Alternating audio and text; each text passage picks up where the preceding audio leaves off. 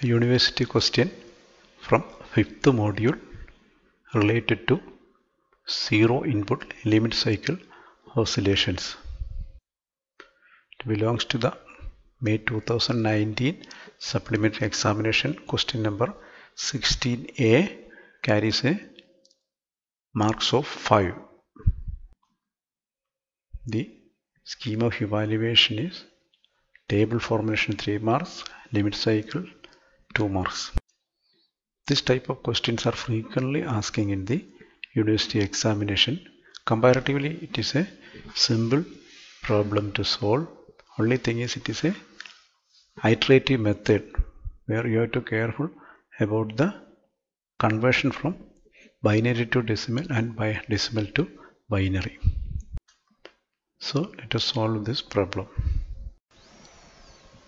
The given values are y of n equal to q of this one then a equal to 7 by 8 which is equal to 0.875 then x of 0 equal to 3 by 4 which is equal to 0.75 next we can draw the table.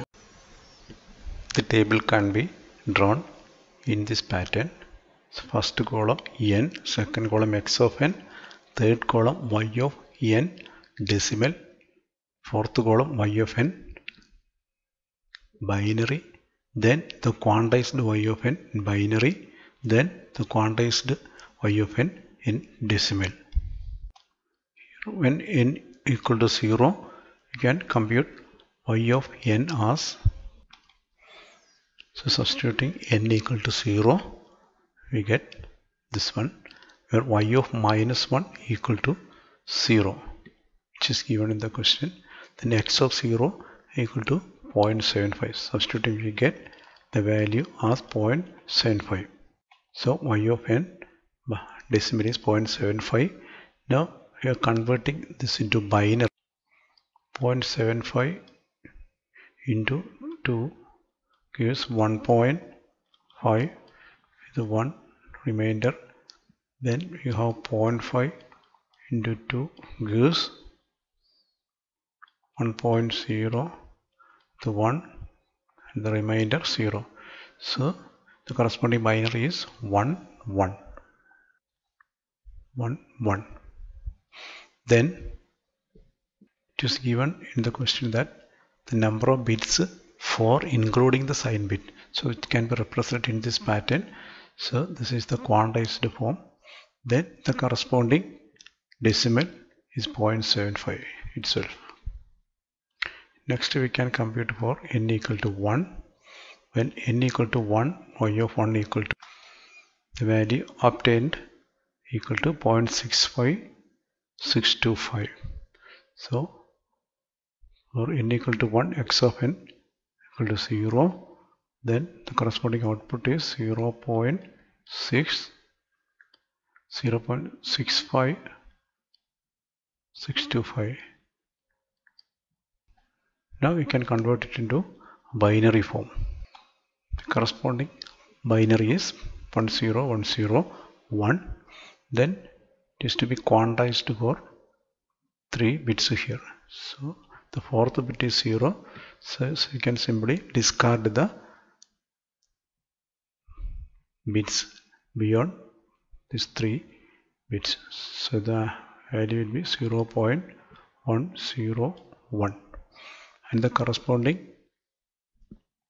decimal number is 0.625 next when n equal to 0 x of n equal to 0 then y of n can be computed as y of 2 will be equal to 0.875 into 0.625 that is y of 1 the previous quantized value which is 0.546875 so y of n equal to this one. Now compute the corresponding binary. So the corresponding binary is this one. Now it is rounding we get the value as 0 0.100 and the corresponding decimal number is 0.75 5 next for n equal to 3 7 0 then y of 3 equal to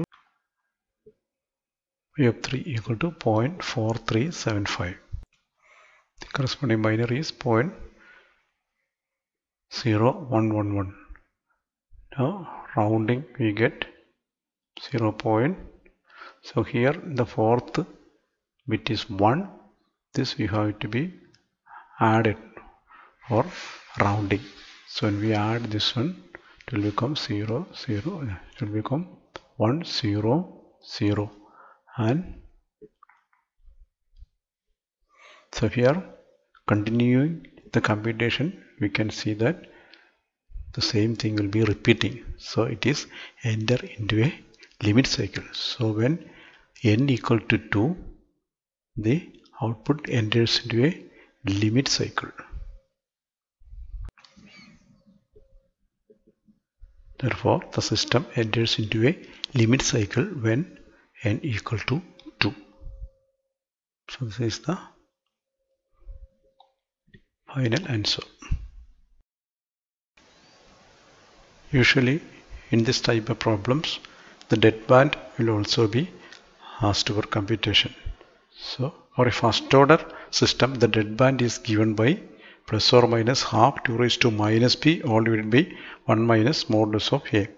Here b is the number of bits excluding the sign bit. So in our case it is 3 and a is the coefficient which is in our case this is 0.875 so if you are substituting you'll be getting half 2 raised to minus 3 divided by 1 minus 0.875 which is equal to which is equal to plus or minus 0.5 so the limit cycle will oscillate between the values plus 5 and minus 5